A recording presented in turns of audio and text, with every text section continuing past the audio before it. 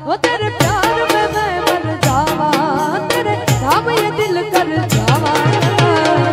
हमें ना भुलाना साजन हमें ना भुलाना। तो गाइस चलते हैं नहाने और फिर आपको ब्लॉग के माध्यम से आगे बढ़ते हैं।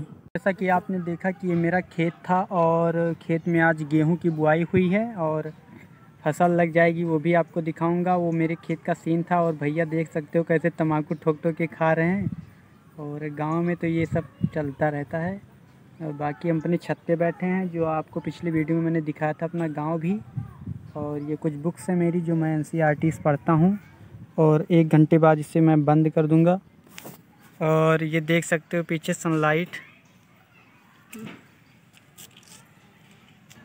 और आप देख सकते हो ये पीछे कैसा सनलाइट दिखाई दे रहा है। और आई होप कि ये ब्लॉग आपको अच्छा लगा होगा।